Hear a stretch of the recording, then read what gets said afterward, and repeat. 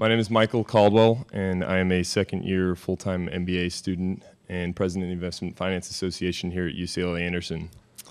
It's with great pleasure that I welcome you all here today for UCLA Anderson's Robertson Lecture Series on Global Business Leadership. It's truly a great honor to introduce our very distinguished guest, Mr. George Roberts, founding partner of the leading global investment firm Kohlberg Kravis Roberts and Company, KKR. Mr. Roberts will join Dean Judy Olian for discussion on lessons from four decades of investing and providing market-oriented solutions to social issues. He will share his lessons from four decades of investing and discuss his thoughts on venture philanthropy and how he uses the principles he developed while leading KKR to provide market-oriented solutions to social issues. In addition, he will discuss the REDF model that he pioneered, which works at the intersection between market forces and social impact in an effort to end chronic joblessness in America. Today's lecture series, managed by the Center for Global Management, has been made possible by Mr. Chip Robertson, member of the fully employed class, MBA class of 2006, and his family. The Robertson Lecture Series on Global Business Leadership serves to provide more opportunities for UCLA Anderson MBA students to acquire global leadership perspectives. The Robertson family has dedicated this series to Mr. Leo M. Harvey, a pioneer industrialist and inventor, founder of Harvey Aluminum, and great-grandfather of Chip Robertson. Moderating today's discussion is Judy Olian, Dean of UCLA Anderson and the John E. Anderson Chair in Management. Since assuming her role as Dean in 2006, Dean Olian has strengthened UCLA Anderson's focus on international business and global management, developed targeted partnerships with an emphasis on Asia and Latin America, and advanced UCLA Anderson into one of the leading schools of management in the world. Under Dean Olian's leadership, the Center for Global Management was established, and on behalf of the Center for Global Management and the Investment Finance Association, I would like to thank the co-sponsors of today's Robertson Lecture Series, the Los Angeles World Affairs Council and UCLA Anderson's Net Impact. Now I am privileged to welcome Mr. Roberts to UCLA Anderson. Having co-founded KKR in 1976, Mr. Roberts has more than four decades of experience financing, analyzing, and investing in public and private companies, as well as serving on the boards of a number of KKR portfolio companies. Today, KKR is a leading global investment firm that manages investments across multiple asset classes, including private equity, energy, infrastructure, real estate, credit, and hedge funds. In 1997, using the principles he developed while leading KKR, Mr. Roberts co-founded and structured REDF, the Roberts Enterprise Development Fund, which is a California-based nonprofit that was formed with a mandate to launch and grow social enterprises. Knowing the power jobs can have in transforming lives and communities, Mr. Roberts put his own money to work to end persistent joblessness and launch what will become known as venture philanthropy, with the mindset of an investor and an expected return measured in people with jobs and lives changed. By 2004, REDF's methods and reputation had grown, enabling it to convert from a family foundation to the independent nonprofit it is today. Today, Mr. Roberts serves as co-chairman co-chief executive officer of KKR and is actively involved in managing the firm, serving on each of the regional private equity and portfolio management committees. He earned his BA from Claremont McKenna College and a JD from the University of California Hastings Law School. Would you all please join me in giving a very warm welcome to our moderator, Dean Judy Olian, and our very distinguished and highly accomplished guest, Mr. George Roberts. Thank you so much, Michael. Uh, I don't know if I have a lot of questions left after that.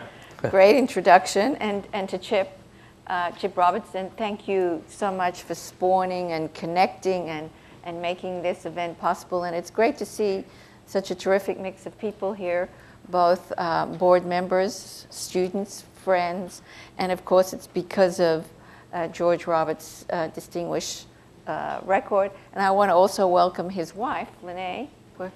There you are um, who herself has a distinguished career in, in finance. So this is a, a powerhouse couple that we have here.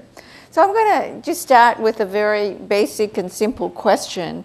Um, and I, I, should mention, those of you who come from Northern California, thank you for bringing the rain. We don't know what that really means in Southern California, but it's, it's great. I'll start from a basic uh, question. Uh, you founded the firm with your partner and first cousin, um, uh, Henry Kravis and, and Mr. Kohlberg, in, seven, in 1976. which was a big new idea at the time, if not the first um, leveraged buyout firm as it was known at the time, certainly one of the first. So, what was the big new idea?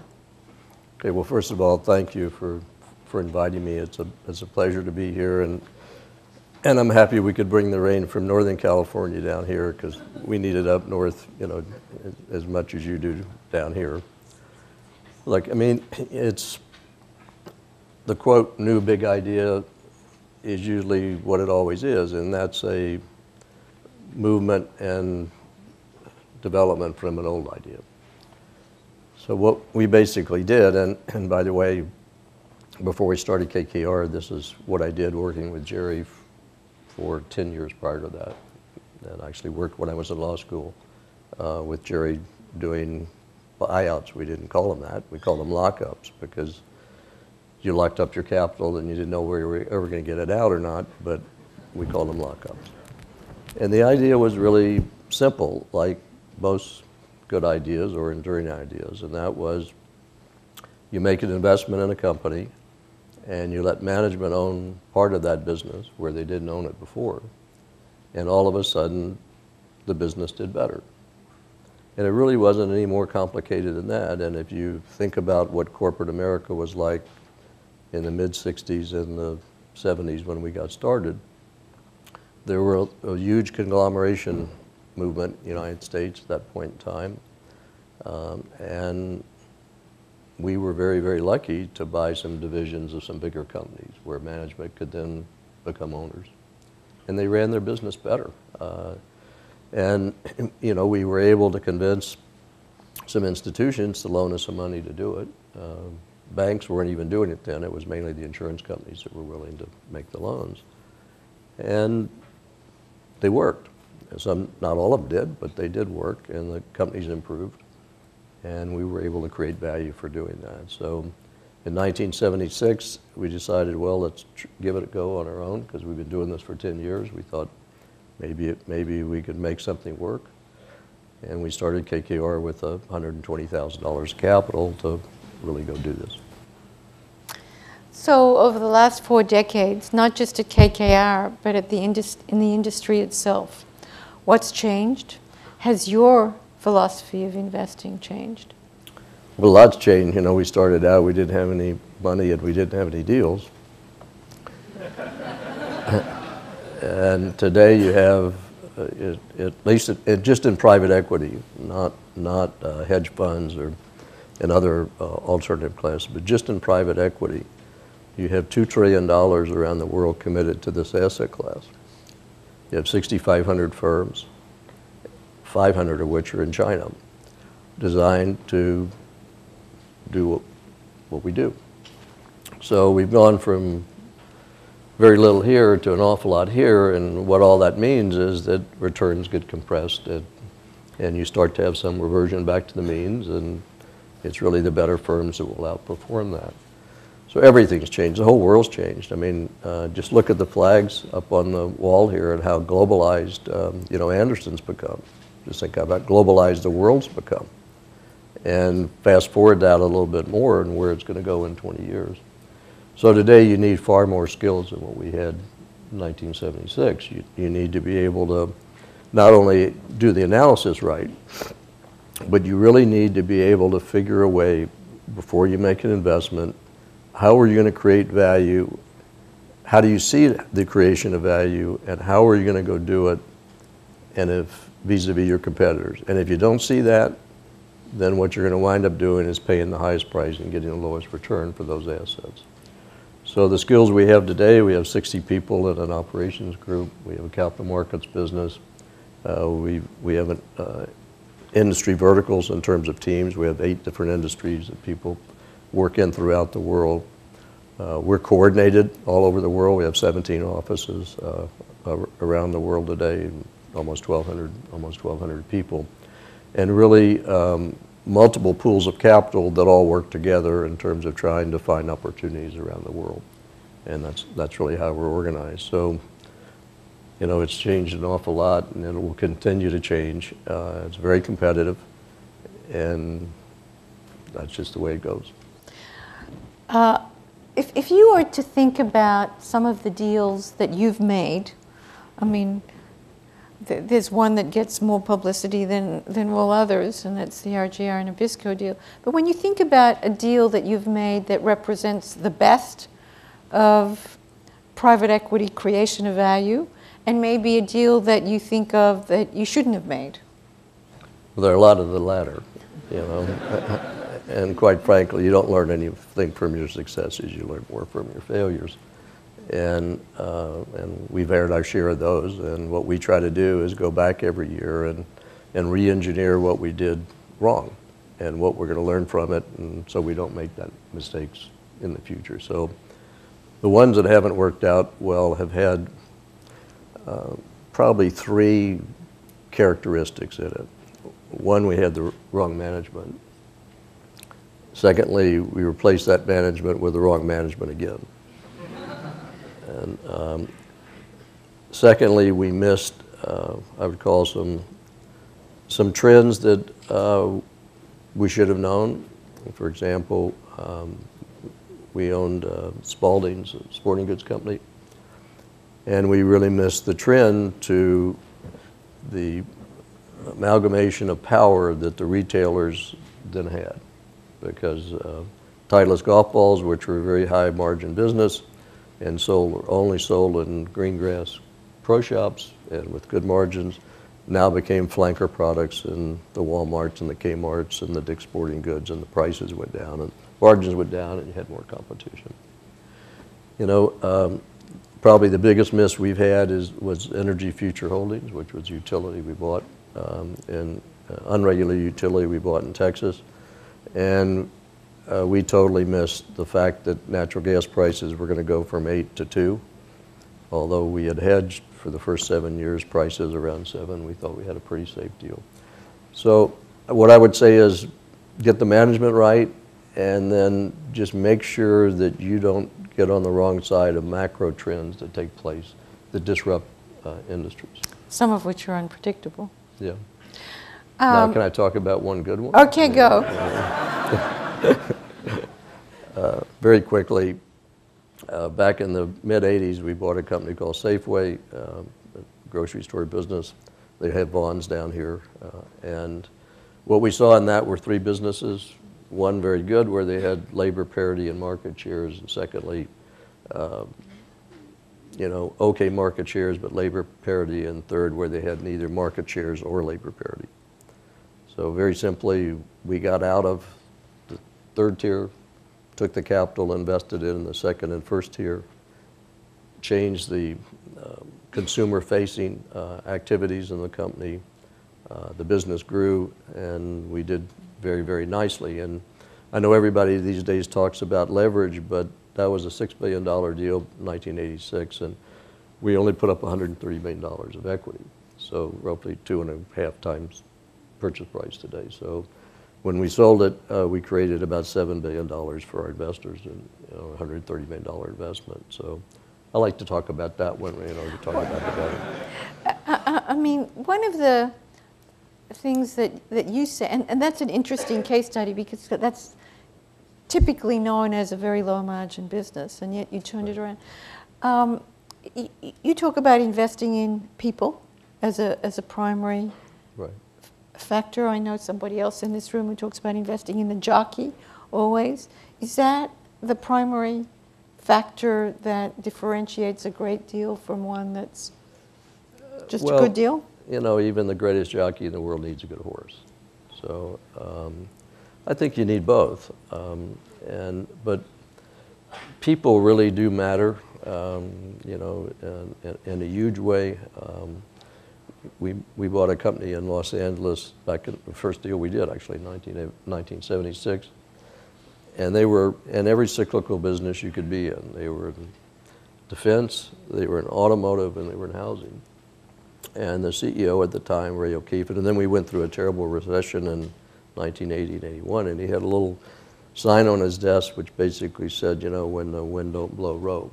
And we got through that very nicely, whereas other companies didn't. Um, another good example is First Data, where we did whiff twice on the wrong management. We finally got the right one in there, and- Frank is making just a huge difference. So I think if it's, if you have an okay business or a good business, and you have a great management, you'll have a really good, good business. People. But, by the way, um, in probably about 20 minutes, I'll turn to you for, for questions. There are microphones here, so please save up all the good questions um, to ask uh, Mr. Roberts. So there are quite a number of Anderson MBA students here. Please raise your hands. Okay, and keep your hands up if you kind of would lust to enter the private equity world. Keep your hands up. Okay, quite a few. Uh, how do you get into, as a newly minted MBA, um, the private equity industry? And what, what makes, what dispositional characteristics uh, enable somebody to thrive in, in your world? Well, you know, uh, I can only speak for KKR. I can't speak for other firms. That, you know, have, everybody's got their own culture and values and how they how they do deal with it. But you know, I think for us, um, um, we have what we call the the the, the no jerk policy. So the first thing we do when we interview people is we uh, take them out to dinner and we see the way they treat the cab driver if they're in New York or the busboy or the waiter or the people that they're interacting to. I've, I have a strong belief that you can tell a lot about somebody by the way they treat somebody that they don't really have to be nice to, and maybe somebody that they'll never see again. So that's the first test. You've got to be a, de- a decent, a decent human being, really. The other, I mean, if, if you've gone to a school like Anderson and you've obviously worked and done something else, you know, we assume you have the smarts uh, and that you can learn what we do. What we do is not is really not all that hard when it, when it come down to it. And so it's really the, the kind of person you are, the, are you a self-starter? Uh, are you someone that uh, wants to sit at the head of the table and take leadership roles? Are you the kind of person that others are going to gravitate to over a period of time and will look to you for advice and, and for help? Uh, are you willing to put yourself at risk and come up with ideas and thoughts that maybe not be so popular, but could be some, some ways to be innovative and different to what we do? Um, are you the kind of person that really throws themselves into everything that you do? Are you the kind of person that has other interests besides finance and work? It's really looking at the whole person as opposed to what the immediate skills that a younger person will have today to bring to the, to the party. And, and you, you know, one of the challenges for starting MBA students is that the private equity world doesn't necessarily hire right out of MBA programs. Does KKR? Yeah, you do. And look, look, I think that. Please don't come with resumes at the end. One of the, one of the more successful people we have at our firm, we hired because um, uh, what he wanted to be was a concert pianist, and he didn't quite, wasn't quite able to achieve that.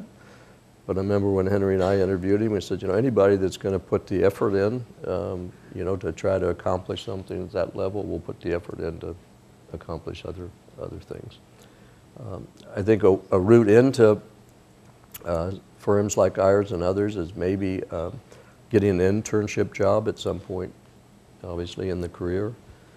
Uh, If those avenues aren't open, then what I would suggest you do is to um, get, a, get a job either with a really good uh, consulting firm that does hands-on work, someone like an AlixPartners, um, and um, you, you know, you know the names of them, Bain, McKinsey, et cetera, where you can develop um, operational skills, you know, where you've actually been involved in a company or go to work for a company in, in some specific area, where you can then bring those skills to firms like ourselves and others, where we don't have a lot of people that have those skills that have come out of business or come out of in, industry and sort of chart a path, you know, to be able to get yourself in a position to do that. The advantage of working at a, a Bain or McKinsey or J. Alex, you will probably interface a lot with a lot of private equity firms and build those relationships as you do it. And secondly, uh, you know, you all are task oriented, So set a program out that if this is what you want to do, that you're going to go do it. So build the relationships with people in these firms and come up with a game plan about how you're going to attack this and what you're going to go do. And you'll find um, just picking up the phone sometime and calling somebody um, will bear fruit to you. I get a lot of calls like that. I always take them. Uh, people I don't know, uh, people that maybe have an idea, because you know at some point in my career, people have taken my phone call where I've asked for a favor or asked for something. So don't be afraid to do that, and attack it and go after it just like you would any other project that you would do. So you've had a 40-year partnership with Henry Kravis, your co-everything, your co-chairman, your co-CEO. How, and um, I don't need to tell you that a lot of partnerships in life and in marriage don't last that long. Um, how has it worked as well as it has? Well, he, Henry and I are first cousins. You know, our parents told us we met when we were two, although I don't remember that. Uh, neither, ne- neither, neither does Henry. But so our families were close growing up. I, I was told, or somebody mentioned something about a bike that you both were competing over, and Well, that was the last argument we had. I think we were. Uh, Oh, I see. I think we were eight or nine, and um, you know, Henry had a new bike, and I wanted to ride his bike, and um, we got in a tussle, and he ran into the garage door and split his head open, and that was the last time we ever fought about anything.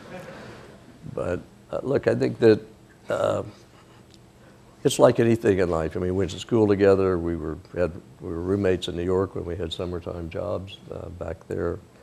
Uh, at least in my experience, um, relationships have to be built built on total respect and total trust, and and you have to believe that that person has your back, and you know we all both have egos. Everybody has one, and that you've got to sort of park it uh, aside when it comes to those relationships, and then you have to realize, like in anything, that the relationship that you have with someone is far more important than any of the other stuff that goes along with it.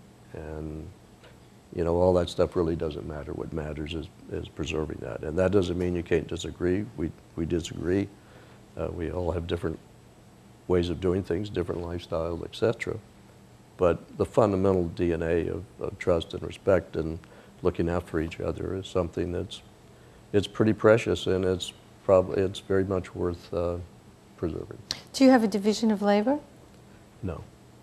You do both do everything, bring deals, decide on deals. Yeah. pretty Together. much. Yeah, and our responsibilities at KKR are, are, are together. We don't split that. Interesting. Um, and and, and I, I'm just wearing my leadership hat here. Does everyone know that they can go to either of you and can't play each other against the other and go to you for both for both sets of issues for all issues? Uh, well, nobody tries to play us against each other. They- You know, I think maybe in the, you know, in the past, few people have tried, but they're not there anymore. so, so, so, no, I think we speak with one, pretty much one, One voice. one voice, and that, you know that's important in any organization. You know, have a consistent, consistent message. And look, I think you know leaders need to do a couple of things. One, you have to have a vision, and secondly, you have to have moral courage. And thirdly, you have to have people that you want to follow you believe that you care more about their success than you, do on your own.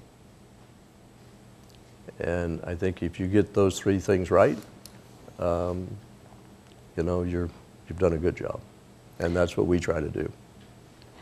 So, going back to a couple of business issues, we just had our board meeting over the weekend and we spoke a little bit about activist investors. Love to hear your take on whether that's a force of good or evil or somewhere in between. Well, they're great for us. I mean, so um, you know, they they they uh, create value, you know, create opportunities for us. Look, activist investors. I mean, that's the, you know, that's the third deriv- derivative to the folks that when I got started were the green mailers. You know, Carl Icahn's done a very nice job of morphing into where he is today versus where where he is. Having said that, and taking personalities out of it. Good activism, I think, is healthy for any kind of a market-based uh, economy. Because there are companies that um, can use some help, can use some shaking up. Um, I think the fact that an activist bought less than 1% of Microsoft and created some tension in the boardroom and some change it was a very good thing, and the stockholders have rewarded the company, the stock's doubled since that's taken place. There's some fundamental things, I think, in every, every company that probably could be done a little bit better.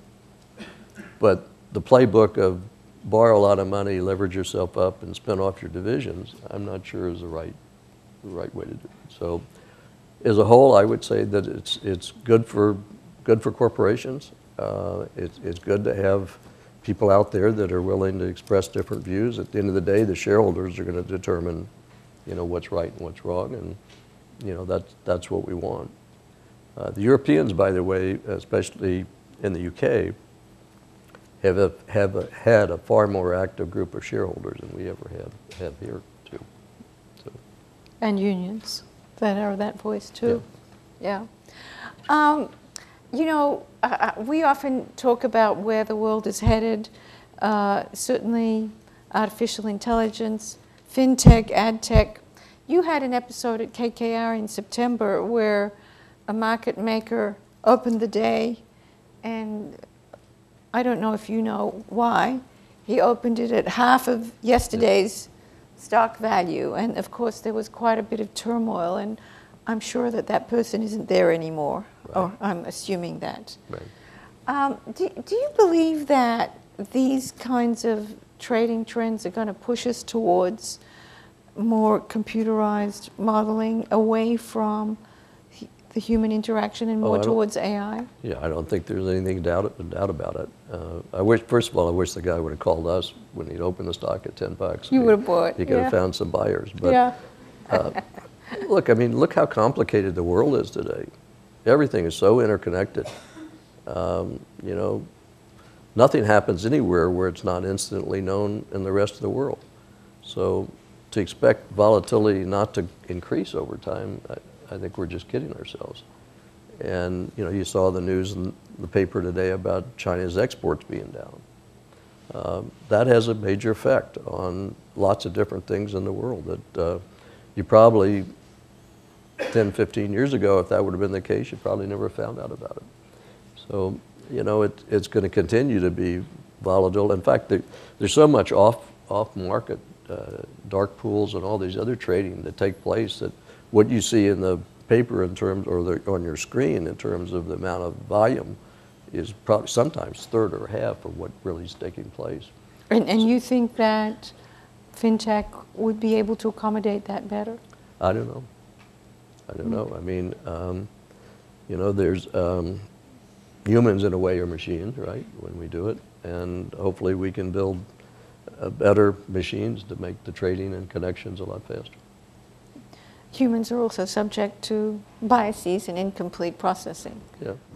Um, you know, you mentioned China, and your chief research person or came out with a report after touring um, China just recently is, is pretty bearish, not just in terms of China's issues, but in, in, in the global impact. How are you translating that into the decisions you're making?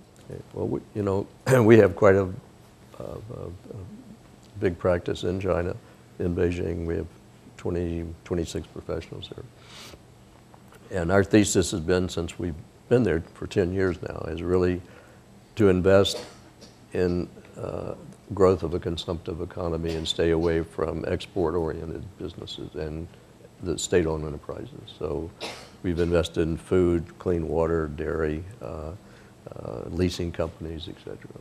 That are pretty much there, local. That's there and with good partners. and so I think what the what Henry McVey was talking about and what you saw in the paper today of Chinese exports going down is really bad news for um, the world economy. And what that really means is that because of technology and everything else, we're producing so much more than the world wants to consume. We're producing too much stuff. Look what technology's done to the energy industry in terms of the amount that can be produced there. So China today has, has uh, higher labor costs than Mexico. And then they're competing with Africa and the rest of the world that are doing to them what China did to the United States in terms of our manufacturing businesses. So in a global economy where everybody's competing and you're producing so many things, and by the way, the free enterprise system has had a lot to do with freeing up economies to produce more to, to provide for their people. You're going to have a situation where supply is far greater than, than demand. And the emerging markets are going to get hurt even more because of that, uh, because they depend on China. Uh, and U.S., I think, with for companies that um, are not dependent upon that, that have real domestic growth, those companies are going to get valued higher over time than, than they would because of this, because more money's going to come out of here and move into that, that area. But this isn't a good sign. And, and do you see that impacting your particular investments internal to China? Because of course, they're impacted by exports Well, I- internally. You know, I think so, but probably to a lesser extent than, than, you know, um, than some of the other industries there. Uh, They still, now, the manufacturing's gone down and their export's going down, but the service economy growth is going up. That's growing about eight or nine percent a year. And that's really what the Chinese government wants to do, is, they don't want this to go down, but they want to create um, a consumptive economy. The Savings rates in China are forty percent. Right. So um, they need to do something to get their, their population to spend. So with that as backdrop in terms of global impact, and you live in Northern California, and some people are talking about a rather frothy economy up there, do you expect this year, um, um, last year was a great year for private equity exits. Do you expect this year to be as good? Do you see any future clouds on the horizons?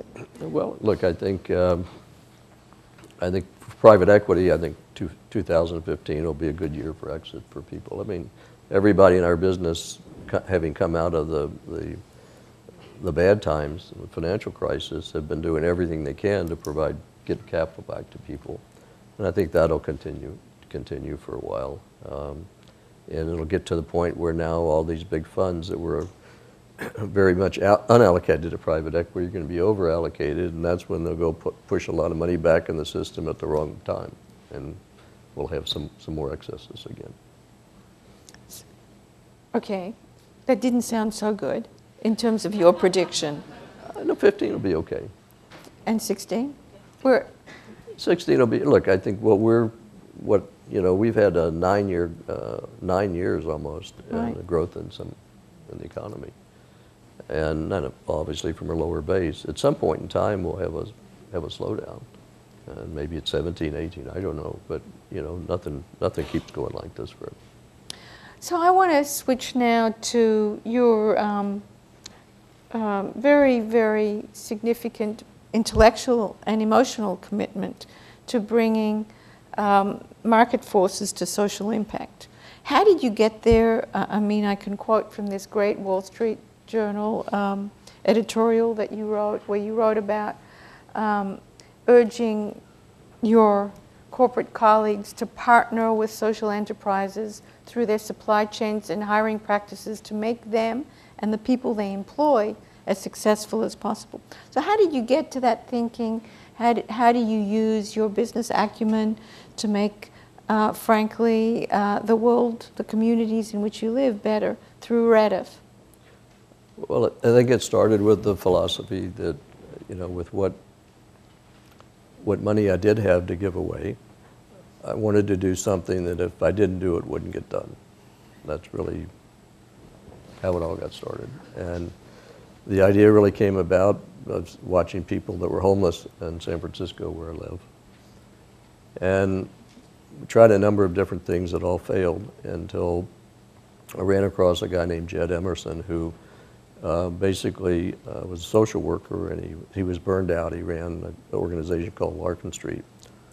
And I said, why don't you do a study for me about what I could do in the Bay Area? And he came across this idea of there are a number of social enterprises in the Bay Area, Ashbury Industries, which made T-shirts, another company that repaired bicycles, and they were all hiring uh, folks that, that uh, had major issues in their life. I'd call it the bottom 1% of population in the United States. And I said, you know, I don't know how to do much, but I do know that if you put, take some capital and you put some smart people behind it, you can help businesses grow. So why not? And that's what we did. We got started basically taking some capital and getting some people, Jed and others, that would work with these companies. And if they could grow their business, they could create more opportunities to hire more people that fit here. And that's really, that was the genesis of it. And so now it's morphed into really a multiplier model where you try and take Right. organizations that then train people to get them back into the work. What's the focus of the populations that, Well, you know, it's uh, bottom 1%, at least our statistics, and there's, there's been 10,000 people that have gone through um, the different groups that we've helped, uh, five of which are in Los Angeles. Um, And California seems to be a forefront of, of social enterprises. Um, You know, of the 10,000, almost 70% have been incarcerated at some point in time in their life. Um, The female population have usually come from abuse um, abuse situations at home. Uh, maybe 50% have a high school education, if, if, if that. Um, folks that, you know, basically have been um, passed by and that are living on substance, you know, the subsistence level. And so your focus is, is very heavily on those who can't necessarily get jobs, they've had, um, they're, they're uh, out of prison populations predominantly, and then you fund the organizations that create opportunities for them. Landscape organizations, construction, waste management, all kinds, Right. but they're employing these populations. Right. So, so that's a huge multiplier model. How do you also make, uh, encourage others like you who have been very successful and very privileged and fortunate in their successes to view this as part of their obligation, their moral obligation, their civic obligation um, to, to make their communities better? Well, look, I think, um, I think all of you, and especially the younger people in this room, um, you know, are far more interested in, in um, giving their time and effort as part of their business life uh, to helping others, whether, doesn't matter what it is. Far more, quite frankly, than my generation when I got out of school. So I applaud all of you for, for that. And you know, what we're trying to do at REDF is really um, roll this out on a more of a national scale. Uh, we just got a, um, a social innovation grant from the federal government, our second one, which was really to identify throughout the country um, other organizations that we might be able to help and provide capital, uh, uh, human and financial capital to. Um, and we had over 350, I think, qualified applications for that. So we're going to pick 25 in four different cities, and we're going to try to build this build this out. Uh, we have an intern program at, at REDF where I think, in the past we've hired some folks from um, Anderson to come work for the summer for us, and they're usually given jobs about working in one of the enterprises in terms of helping them helping them grow. Um, I, you know, I hope, and I'm sure you all are doing this, I hope when you get out of school or even when you're in school, that you get involved somehow in some nonprofit that does something. Uh, you'll, you'll be able to add a lot, especially with your skills and education. You'll, you'll get a lot out of it. And to make that part of your, part of your life in terms of what you're going to go do in the, in the future. So let's now turn to you to ask questions. Uh, please go to the microphone and introduce yourself. There's a microphone right here, and introduce yourself. Go ahead. Yeah, it's a relationship to some company or they're uh, bound to uh, government, like like the, for private equity, private equity. So is, is the question the core competency of Yeah, the yeah, private yeah. equity firm, relationships with other private equity firms, or with, uh, uh, what uh, what what you think is uh, just for this time period because it's a new thing in China, Uh-huh. and or what is a trend? Or I for- see. yeah. Okay, is, the- is the Thank you. private equity trend in China something that's going to grow? Or- eh, Because it's, it's new. uh, Thank you very much. Thank you. Uh, Sure, look, I think that the way it's going to grow is, is not necessarily by buying control of a Chinese company. I, you know, um, that's certainly not something that we'd be interested in doing, but what we are interested in doing is investing in Chinese companies where we can help them. For example, we invested in Haier, which I'm sure you know is a big retail company, and uh, they wanted our capital, but they really wanted us to help them expand uh, uh, internationally, which we've done. And we have joint ventures now with them, with some companies we have that have products in Germany. Uh, We've been able to bring some operational skills to helping them uh, improve their businesses. So for us in China, and I can't speak for others, it's more investing with good Chinese partners and, and business people uh, and helping them grow and internationalize, in many cases, their companies. So uh, I don't think we'd ever do a 100% leverage buyout in China.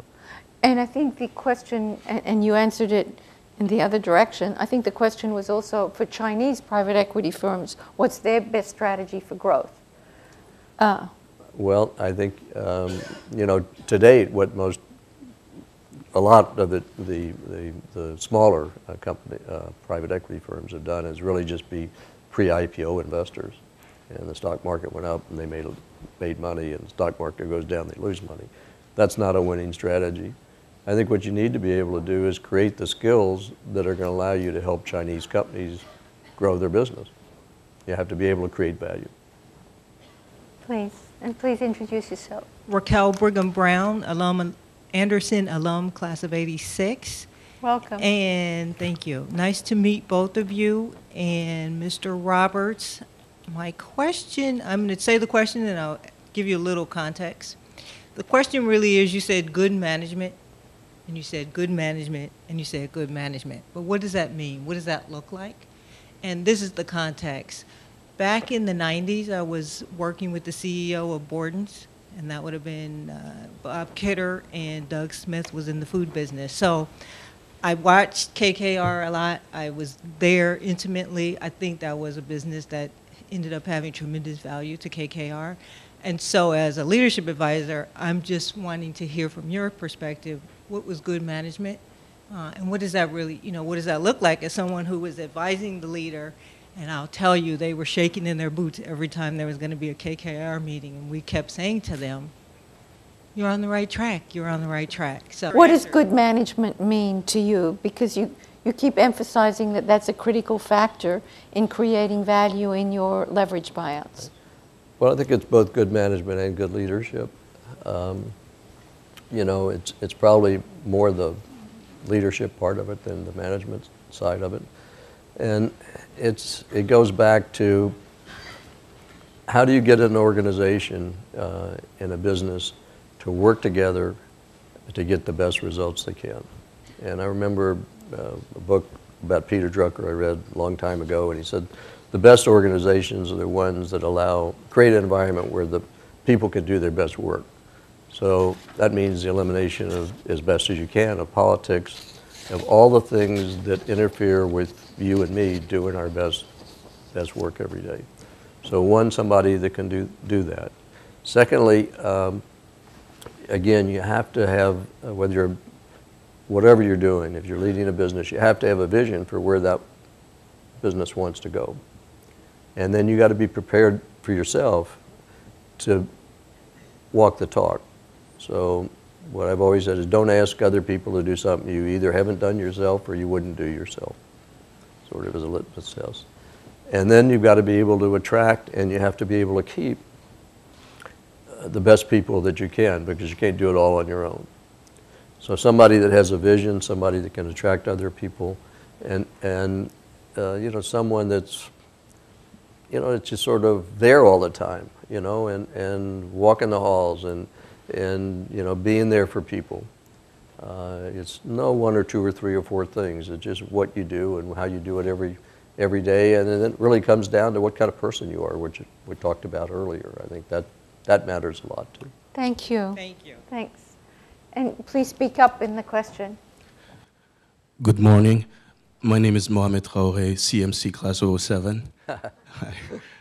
Um, my question is, um, KKR, just like Abraj and Helios Capital Partners, has been redoubling its efforts in Africa.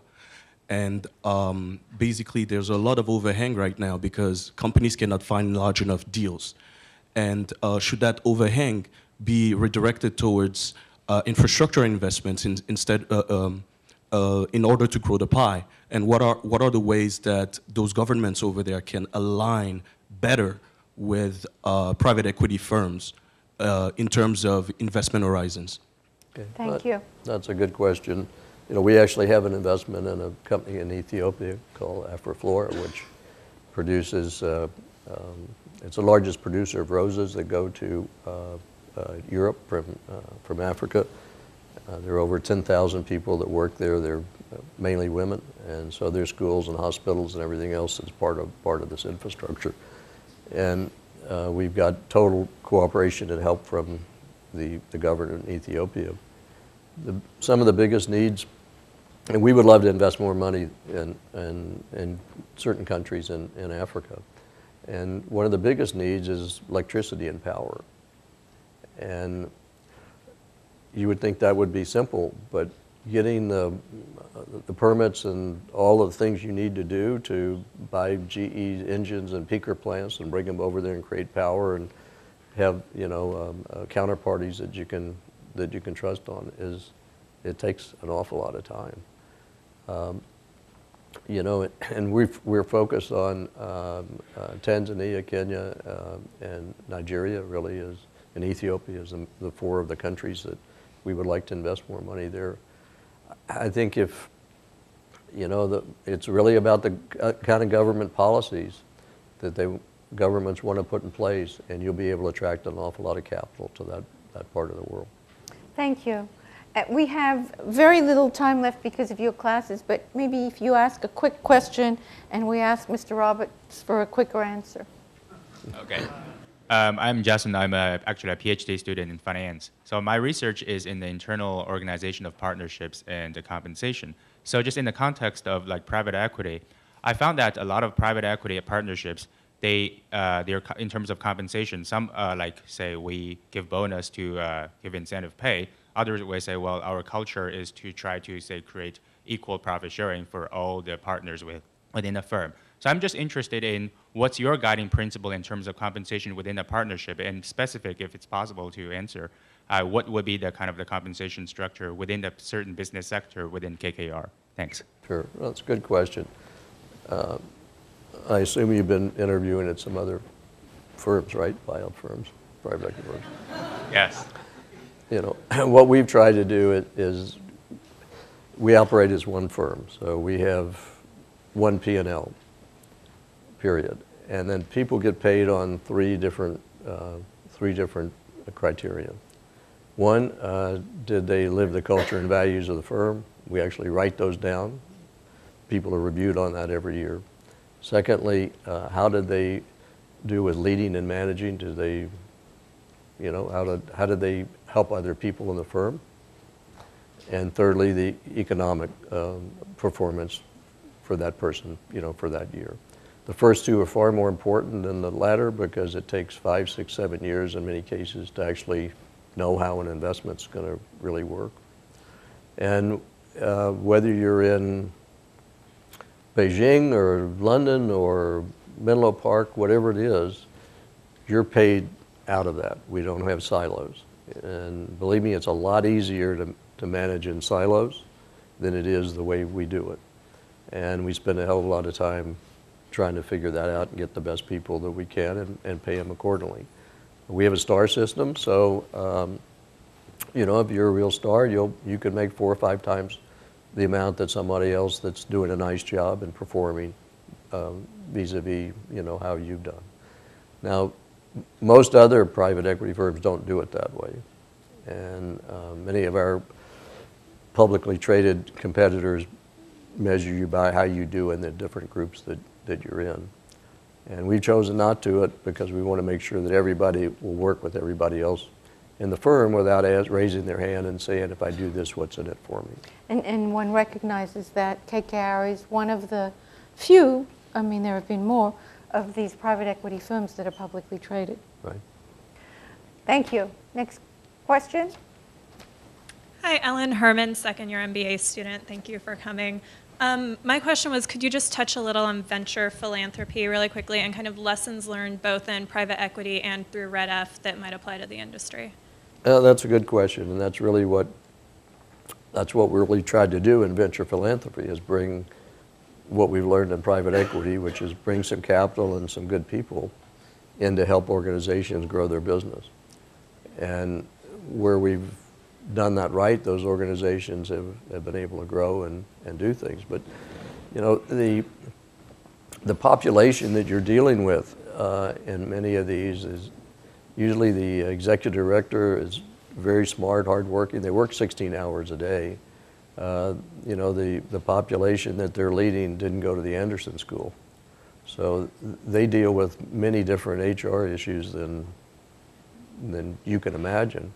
Uh, they're underpaid for the job that they, that they, they do, and they get burned out. So, you know, there's term, ter- you know, changeover there and everything else that, that takes place. But you know, the real goal is to get things that can, can scale. So something can work in Los Angeles, can work in Chicago or different places. And then you can get people like yourselves and others that are willing to devote your life or part of your life to help those organizations really go out and help and help people.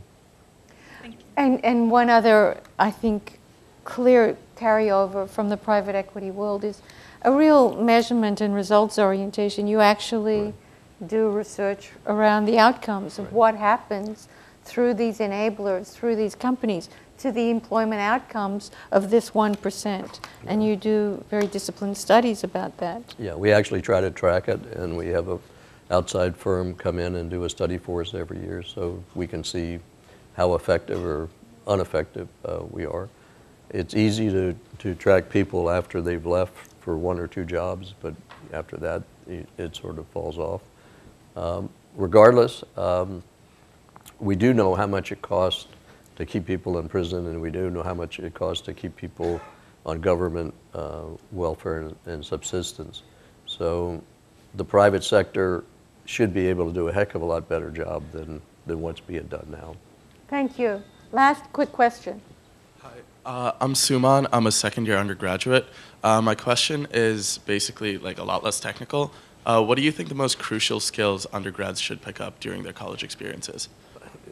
Not only um, undergraduates or peop- you know or, or, or business school graduates or anybody, the most important thing you'll find in your life is building relationships.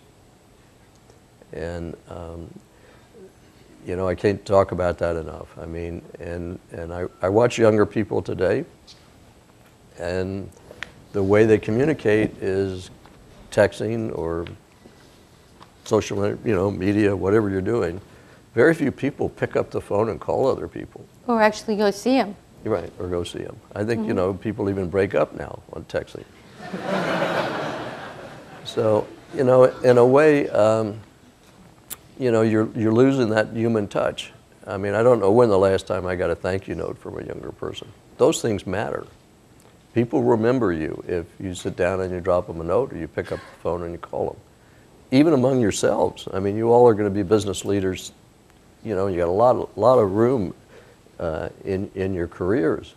Build those relationships with, with one another and try to build relationships with other people that, that are out there and keep in touch with those that's going to take you much farther than any course you could ever learn in school or whatever you're going to go do. It's you know it's the essence of life really is having personal relationships. Thank you. Thank you, Mr. Roberts. Thank you, George, for